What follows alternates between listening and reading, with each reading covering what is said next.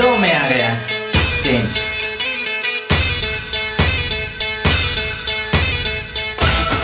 पहले तो इस वीडियो में आपको दिवाली की बहुत सारी, ढेर सारी शुभकामनाएँ। और अगर आप यहाँ पर मोबाइल लेना चाहते हो स्मार्टफ़ोन जो कि आपके बजट के हिसाब से कम है, यानी कि स्टार्टिंग प्राइस में कोई स्मार्टफ़ोन लेना चाहते हो 8000 के अंदर तो इस वीडियो में हम लेकर आए हैं आपको ऐसे तीन स्मार्टफ़ोन जो कि सबसे बढ़िया है डुअल कैमरा सेटअप स्मार्टफ़ोन देखने को मिलते हैं, जो कि आठ हज़ार के अंदर आते हैं। और जो स्मार्टफ़ोन है, वो यहाँ पर कलर वाइज बेटर है, यहाँ पर देखने में भी बेहतर है। और तो जानेंगे इस वीडियो में तीन स्मार्टफ़ोन के बारे में, जो कि हमारा तीन नंबर पे पहला स्मार्टफ़ोन आता है होता है सैमसंग का भाई सैमसंग ने एम सीरीज़ को लेकर आई जो कि यहाँ पर सबसे खास सीरीज़ है यहाँ पर सैमसंग की, जो कि स्टार्टिंग प्राइस रेंज में लेकर आई जहाँ तक बात की जाए सैमसंग एम टेन जो स्मार्टफ़ोन है, वो आता है हमारे तीन नंबर के लिस्ट में। तो यहाँ पर बात करते हैं इसकी स्क्रीन साइज़ को लेकर। तो 6.22 इंच का यहाँ पर full H D plus infinity display मिलता है, जो कि काफ़ी बढ़िया डिस्प्ले कहा जाता है इसको। साथ में बात की जाए तो इसमें डुअल कैमरा सेटअप मिलता है, जो कि 13 प्लस दो मेगापिक्सल का सेंसर कैमरा आता है। जहाँ तक बात की जाए इस मोबाइल की तो तीन हज़ार चार सौ की बैटरी मिलती है। इसके अलावा जहाँ तक आपके सुंदर खोपड़े को और सुंदर बनाने के लिए पाँच मेगा का कैमरा सेटअप दिया जाता है। तो दोस्तों, जानेंगे इसके मोबाइल की प्राइस के बारे में। तो सात हज़ार चार सौ निन्यानवे रुपए इसकी प्राइस रखी है और इस प्राइस रेंज में आपको तीन जीबी बत्तीस जीबी वाला स्टोरेज भी देखने को मिलता है।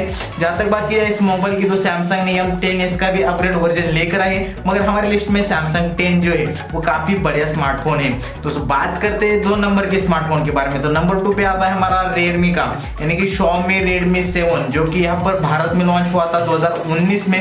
जहाँ तक बात की जाए स्मार्टफ़ोन की, जिसमें आपको लगभग 6.26 इंच का फुल एच प्लस डिस्प्ले मिलता है। बारह प्लस दो मेगापिक्सल के कैमरा सेटअप के साथ आता है रियर में और चार हज़ार एमएच की इसमें से बड़ी बैटरी मिलती है कि सबसे बड़ी जब बैटरी लेनी है आपको तो मेरे हिसाब से Redmi 7 जो है, वो सबसे बढ़िया मोबाइल है बैटरी बैकअप के मायने में। क्योंकि Xiaomi ने हाल ही में कहा था कि जो बैटरी है, चार हज़ार एमएच की लगभग दो दिन तक चल जाएगी और मेरे हिसाब से दो दिन तक आराम से चल जाएगी ये बैटरी और इसमें जहाँ तक बात की जाए तो आपको तीन जीबी बत्तीस जीबी वाला वेरियंट देखने को मिलता है। साथ में बात की जाए इसकी प्राइस की तो प्राइस जो है, वो सात हज़ार के ही नीचे है जो कि छह हज़ार नौ सौ निन्यानवे रुपए इसकी प्राइस देखने को मिलती है।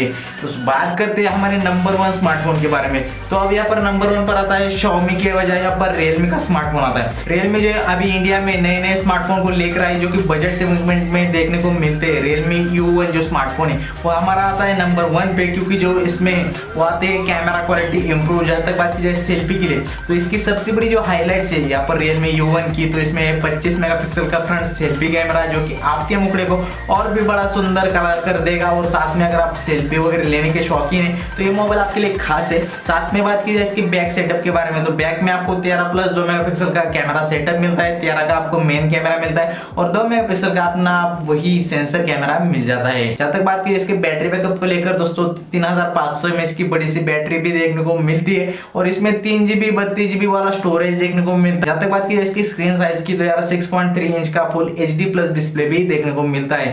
और इस प्राइस रेंज में बात की जाए तो इस मोबाइल की जो प्राइस है, वो आती है लगभग सात हज़ार नौ सौ निन्यानवे रुपए, यानी कि आठ हज़ार के अंदर ही देखने को मिलती है। और अब तक का सबसे बेस्ट स्मार्टफ़ोन मेरे हिसाब से रियलमी यू वन रहेगा। तो अगर आप स्मार्टफ़ोन लेना चाहते हो तो इन तीन स्मार्टफ़ोन से कोई भी स्मार्टफ़ोन खरीद सकते हो अपने बजट के हिसाब से। आई होप आपको समझ आया होगा वीडियो। तो फ़िलहाल इस वीडियो में बस इतना ही। वीडियो देखने के लिए आपका धन्यवाद। वीडियो पसंद आए वीडियो को लाइक करें चैनल को सब्सक्राइब करना ना भूले, क्योंकि हम लाते रोज़ाना ऐसी नई नई टेक्नोलॉजी वीडियो तो फ्रेंड्स मिलते हैं नेक्स्ट वीडियो में। तब तक के लिए जय हिंद, जय महाराष्ट्र।